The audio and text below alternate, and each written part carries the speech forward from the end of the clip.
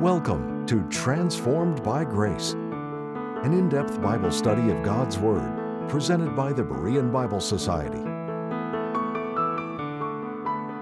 Join us each time on this station as Pastor Kevin brings the transforming message of God's grace revealed through the Holy Scriptures.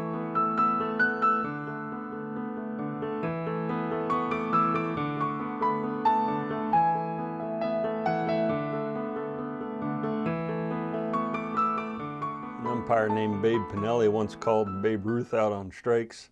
When the crowd booed with sharp disapproval at the call, the legendary Ruth turned to the umpire with disdain and said, There's 40,000 people here who know that the last pitch was a ball. Suspecting that the umpire would erupt with anger, the coaches and players braced themselves for Ruth's ejection. However, the cool headed Pinelli replied, Maybe so, babe, but mine is the only opinion that counts. We need to realize that the Lord's opinion of us and His judgment at the judgment seat of Christ is the only one that counts. In 2 Corinthians chapter 4 verse 18, the apostle Paul wrote that we look not at the things which are seen, but at the things which are not seen. For the things which are seen are temporal, but the things which are not seen are eternal. Looking at the judgment seat of Christ through the eye of faith is to look at something eternal. It has eternal ramifications. In our lives, we should look at and live in light of this judgment day by faith, knowing that there is a day coming when we will stand before our Lord to give an account of our Christian lives. 2 Corinthians chapter 5 and verse 9 says, Wherefore we labor that whether present or absent, we may be accepted of him. Wherefore, Paul says. What Paul says in this verse is in relation to what he previously said in chapter 5. And so, in light of being absent from the body and present with the Lord, and the certainty of our eternal hope and eternal purpose, Paul says, Wherefore we labor. Labor here means an, an aim or an ambition to make something a point of constant effort, to strive after it. Paul had a strong ambition for something, as he says, whether present or absent. Now, Paul has already used those words in verses 6 and 8 when he talked about being at home or present in the body and being absent from the Lord.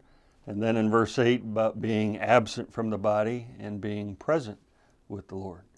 What Paul is saying here is whether he was living here in this life in my physical body, at home, present in my body, or whether he died and was absent from the body but present with the Lord, in either case, his ambition was the same.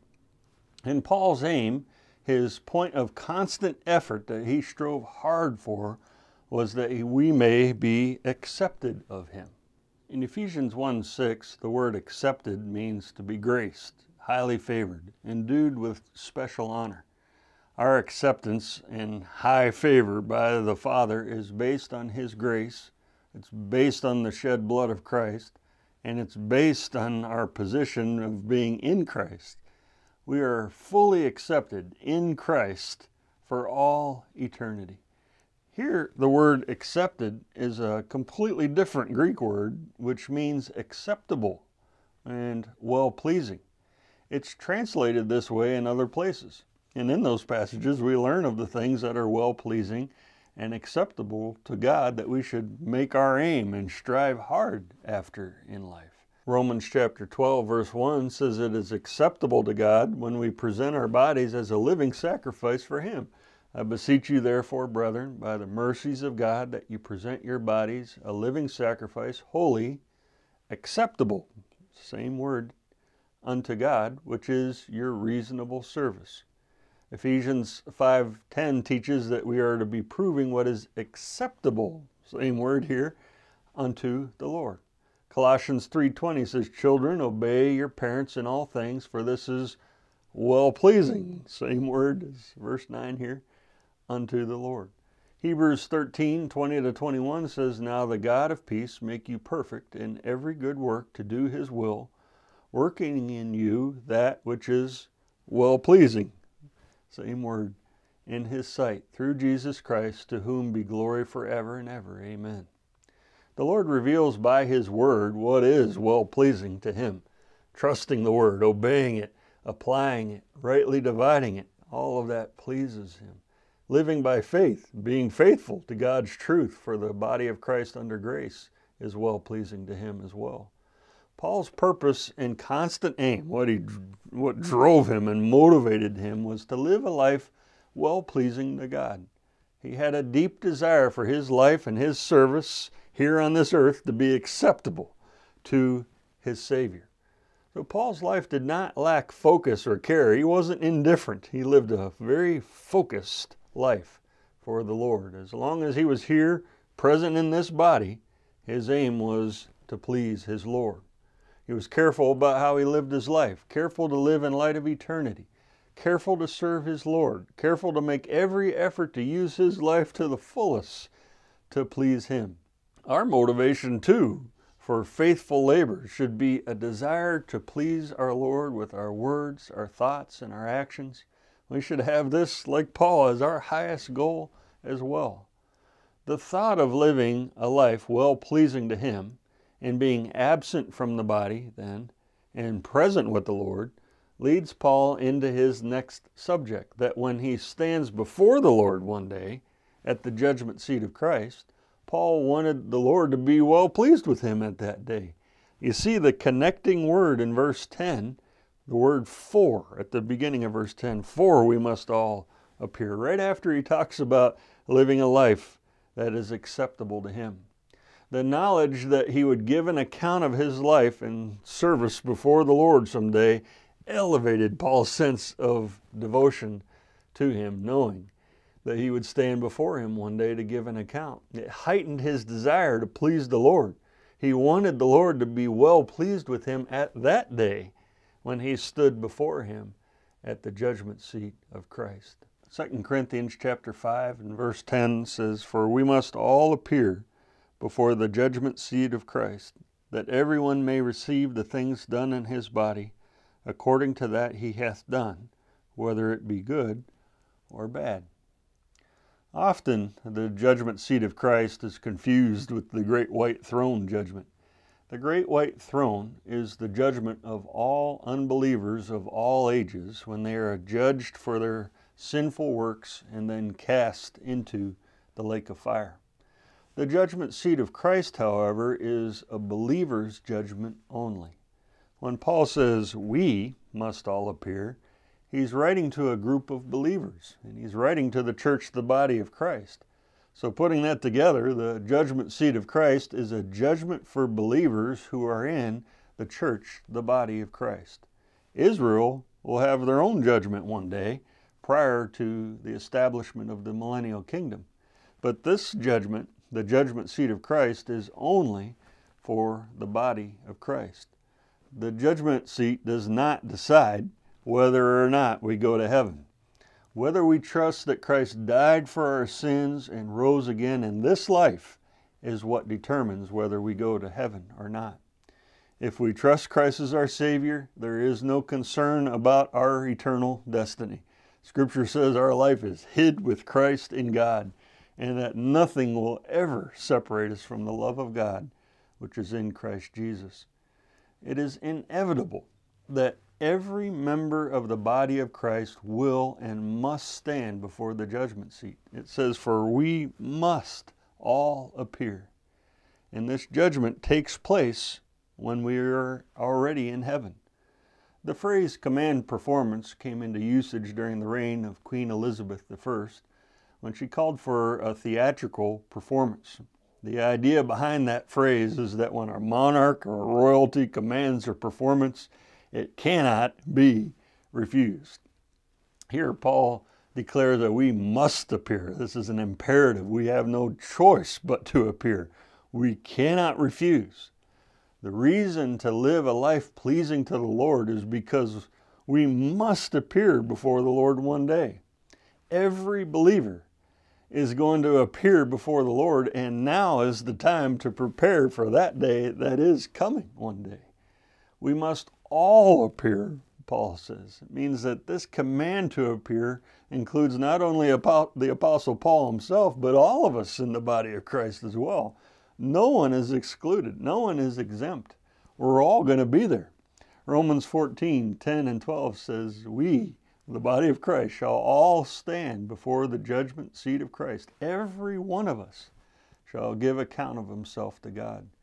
We will each individually give an account. No one else is going to stand there with you. Your spouse won't be there with you. Your, chi- your children won't. Your parents won't. Your friends won't. Your pastor won't stand there with you. It'll be just you and the Lord. We are each individually accountable before God for what we believe and how we live, and will individually have to answer for it before the Lord someday. He will call your name. Paul's ambition was driven by the reality that there is going to be an accounting for what he has done in his body. Paul knew that he was heading for a and facing a monumental event one day, and not only him, but everyone in the body of Christ. We'll be returning to the program in just a minute, but first we'd like to take this time to thank you, our partners, for making these programs possible. If you would like to access our library of helpful Bible study tools, go to BereanBibleSociety.org.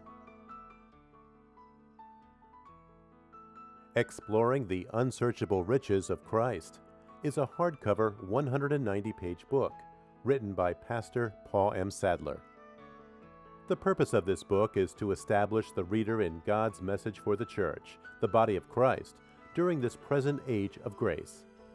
The content of this volume has been developed over a 25 year period, and we pray it may help you enjoy the Word of God in a deeper sense. It clearly transformed this author's life when he first came to a knowledge of the Word, rightly divided. To order your copy, contact the Berean Bible Society for pricing and availability at 262 255 4750 or visit our website at www.bereanbiblesociety.org. To receive our free full color 32 page monthly magazine, The Berean Searchlight, call 262 255 4750 or subscribe online at www.bereanbiblesociety.org. Thank you again for your generous gifts. And now, back to the teaching with Pastor Kevin. One commentator insightfully said this A clear and compelling vision of the future does have real power to affect our actions in the present.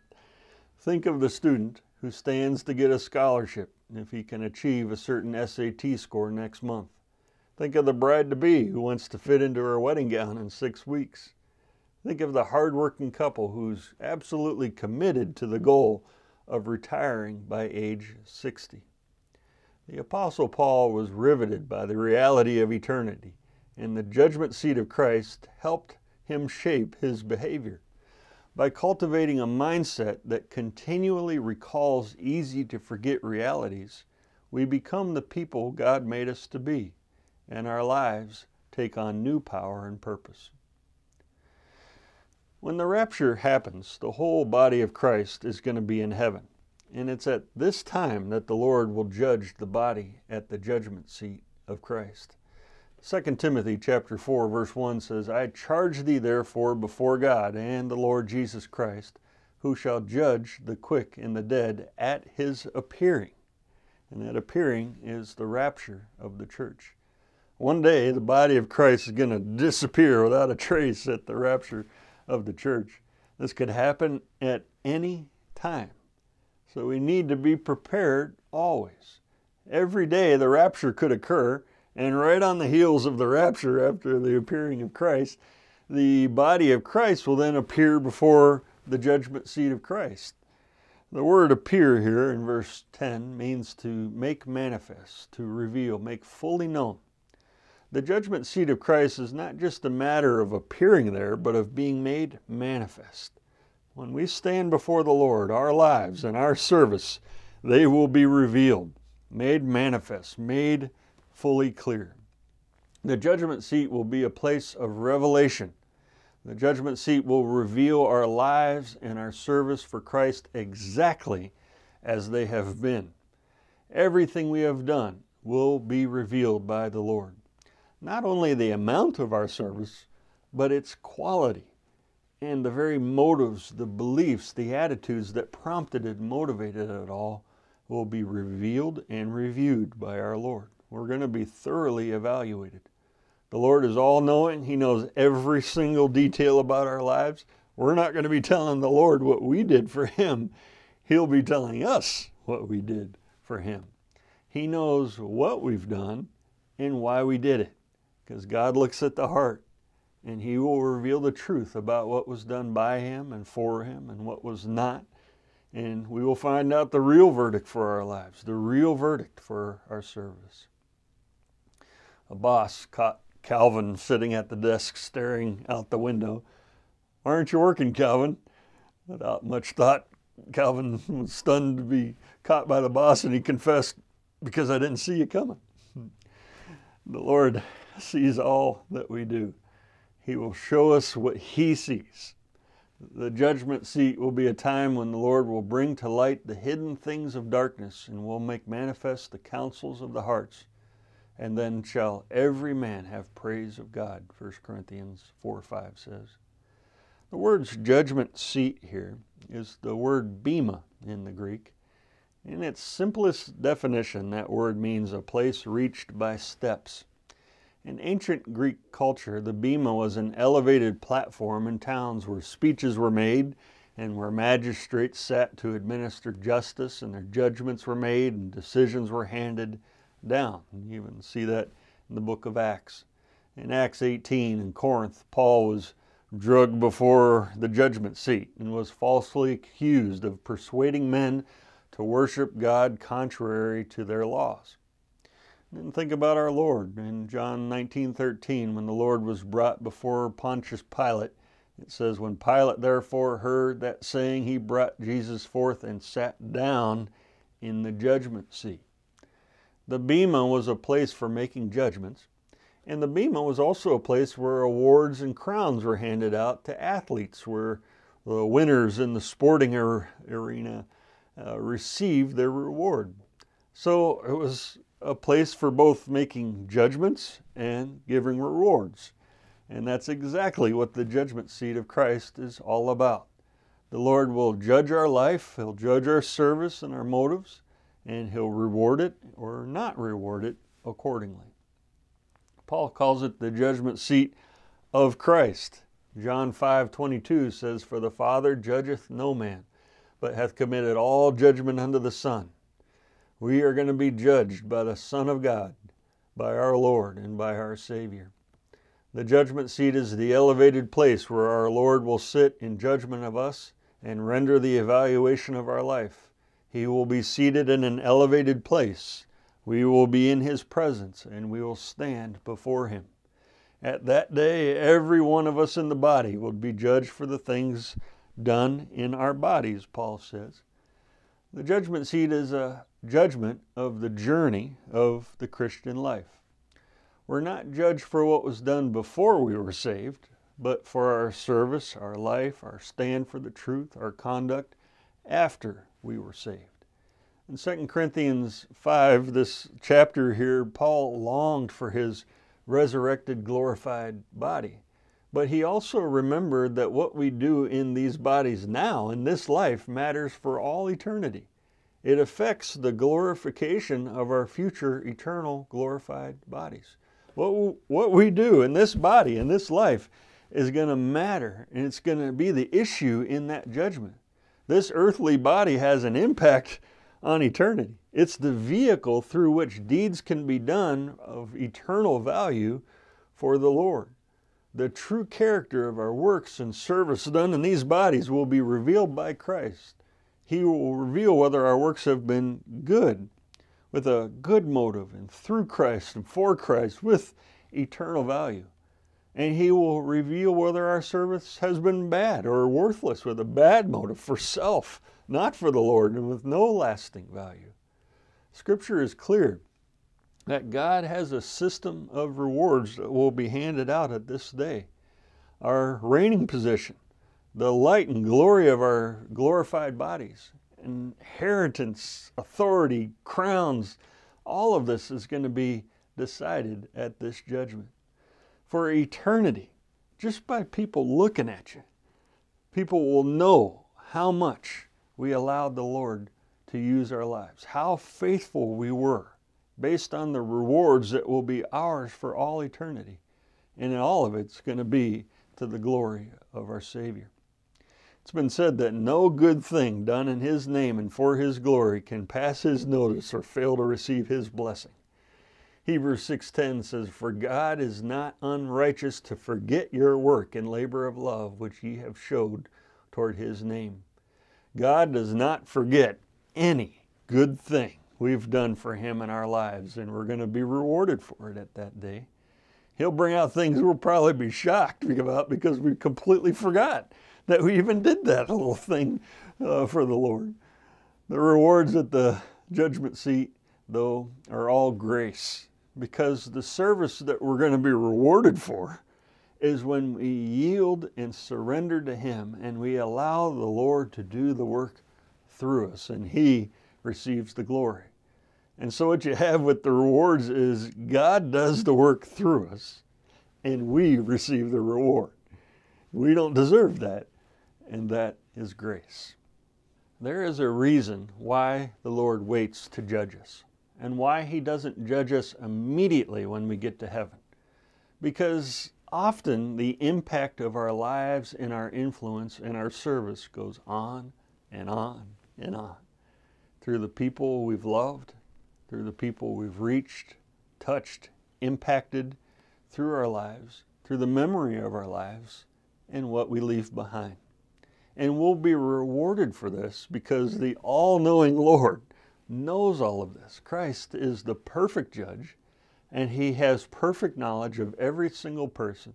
He knows the big picture of our lives, and he knows how far, how wide the influence of our lives reaches. One wet and miserable morning in Ohio, Ray Blankenship was making breakfast when he looked out the window onto the open stormwater drain that ran alongside his house. What he saw terrified him a small girl being swept down the drain. He also knew that further downstream the ditch disappeared with a roar underneath the road. Ray ran out the door, raced along the ditch, trying to get ahead of the little girl. Then he just hurled himself into the deep, churning water. He surfaced, was able to grab the child's arm. They tumbled end over end within about three feet of the drain going under the road. Ray's free hand felt something protruding from the bank.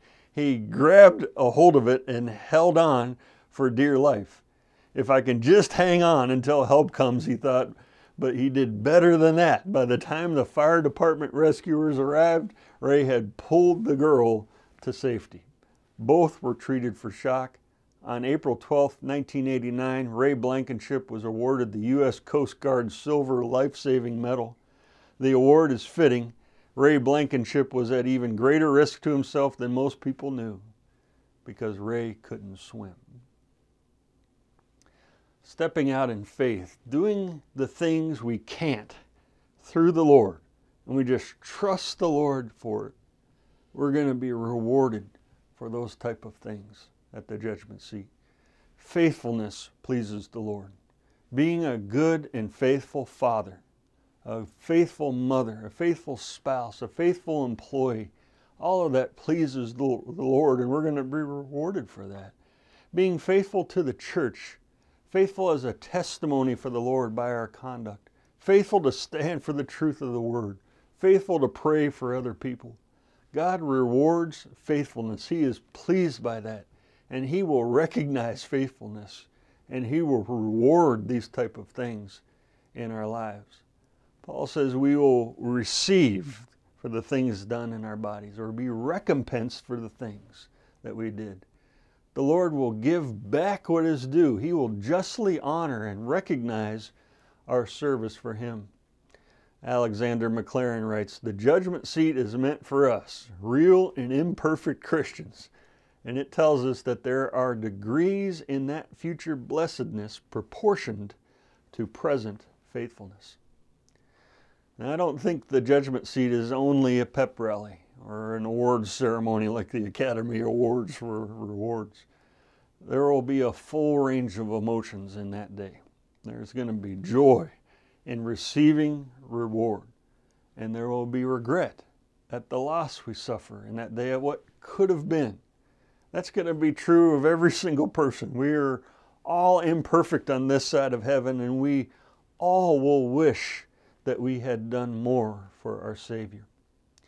But the most important thing at the judgment seat will not be the rewards themselves that we may receive. It will be that the Lord was so pleased with this one thing I did for Him that He desires to honor me for all eternity because He was well pleased by it. That will mean everything to know that our Lord was pleased with us. This text reminds each of us of the importance to examine our lives regularly, to see if we are living a life acceptable and well pleasing to God, and if we are ready to stand at the judgment seat of Christ, which could happen at any time. We will never regret giving it our all and holding nothing back and living for the Lord. For eternity we'll be glad we did, and especially because we'll stand and we'll give account before the one who gave his all for us and dying for our sins and rising again to save us and give us eternal life. If you ever have any questions about the things you hear on this program or read with our literature, please contact us anytime at Berean Bible Society. Our phone number is 262 255 4750 our email is Berean at BereanBibleSociety.org. Thank you for watching Transformed by Grace. Next time we're going to be examining all the future judgments before the Lord. Two Minutes with the Bible is a timeless classic that our beloved founder, C.R. Stam, compiled from newspaper articles he had written for various publications. We at the Berean Bible Society are firm believers in the importance of daily devotions to further spiritual growth. What better way to show our appreciation for all of God's bountiful blessings than by spending time with an open Bible and this daily devotional? May God use this work to bring you to a deeper understanding of the riches of His grace in Christ Jesus.